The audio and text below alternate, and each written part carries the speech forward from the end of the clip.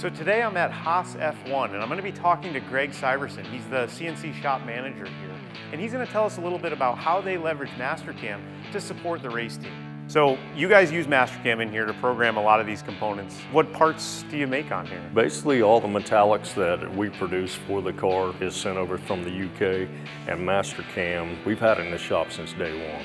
So we've been here a little over eight years now. To see not only where you guys have come, I was involved here at F1 with you guys coming back and forth and helping you establish processes with how you utilize Mastercam or how quickly you can turn around parts and the complexity of parts, but also how the software has matured in those eight years that you've been working in here, right? We've benefited from that from the, the beginning stages, mainly the toolpaths of what we can utilize on the parts. That's been a big key to our success. You guys do some really unique things with fixturing or, or lack of fixturing, how you're able to how you're able to turn over these different components without practically any fixturing at all. Right? Yeah, lack of fixturing is the key. The guys are really, really good about utilizing the Mastercam to process it, which nine times out of 10, it's in one operation. A typical shop, you know, they might have tight lead times, but often they've got to build a fixture and then you know they've got two weeks into making a fixture. Well, if you spent two weeks making a fixture, you already missed your deadline. Oh, right? I've missed my deadline by a week already. Yeah, right. Yeah, so, so, you've got five days to make this thing. So yeah.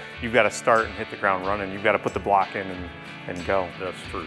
Can you show me some of these components and let's take a look and then maybe we'll head out to the shop and actually see what you're doing out on the floor. Sounds good. I can't help but notice the this little model in the back. This is your guys' bread and butter, right? Yes, this is. This is basically where the aerodynamics guys, they get all their data off of this, and this is a scaled down 60% model.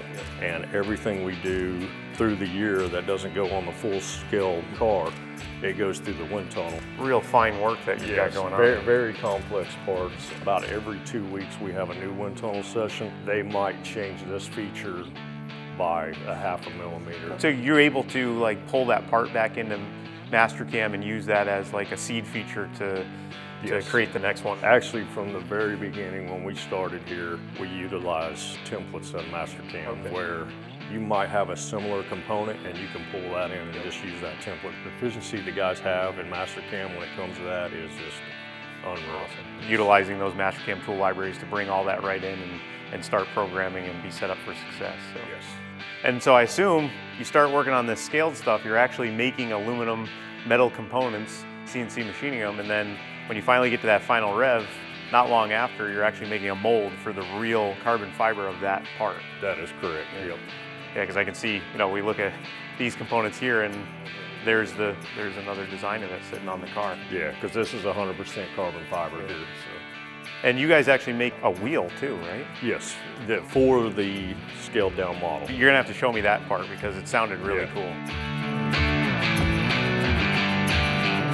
Hey, Fred. Hey, Jesse. How's it going? Good, good. How you been? Oh, doing all right. So this looks like the wheel that Greg was telling me about. Yeah, so this is our 60% scale model wheel. This thing here has been through multiple operations. It went through two lathe ops and then multiple ops on the UMC. Oh, okay. So. Is that like a Morph toolpath I'm seeing down in there? Yeah, there? so we used a lollipop cutter to get way down in there and that looks like a fun project i'm used to seeing you know more parts like this in this shop and yeah that, yeah that so like this is more one. play work for yeah. us so we get really excited when we get something like this in so what are you working on today on the 750? so we have a dual canister mount it has some really tight h7 bore tolerances so we're using OptiRough and stock models oh. well i'd love to check it out sure come on over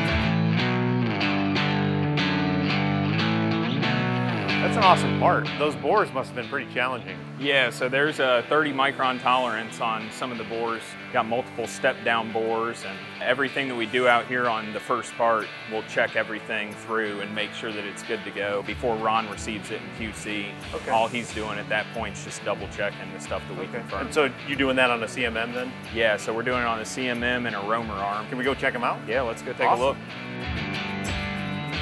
So Jesse, this is our inspection department. We use this to check the form on all of our brake duct mold components. So those are pretty tough components to check any other way, right? They are, so that's pretty much minus a couple 3 8 location holes to hold the mold together. There's really nothing you can hard gauge on these, so it is all based off the form of the part. You'll take Verisurf, do like an alignment, get that yeah, set, and yep. then probe a few Yeah, points. and then scan the part, and when it's all And said and done, they have a tolerance band that's all color coded that shows them. Nice. If it's green, it's in spec. If not, And you're able to do that running right inside a Mastercam. yeah, yeah. So Really it's cool. something we're already familiar with and makes inspection a breeze. Well, thanks for walking me around today. Yeah. Really, really awesome. great to great see to you. be back in here again, and we'll catch you next time. Awesome.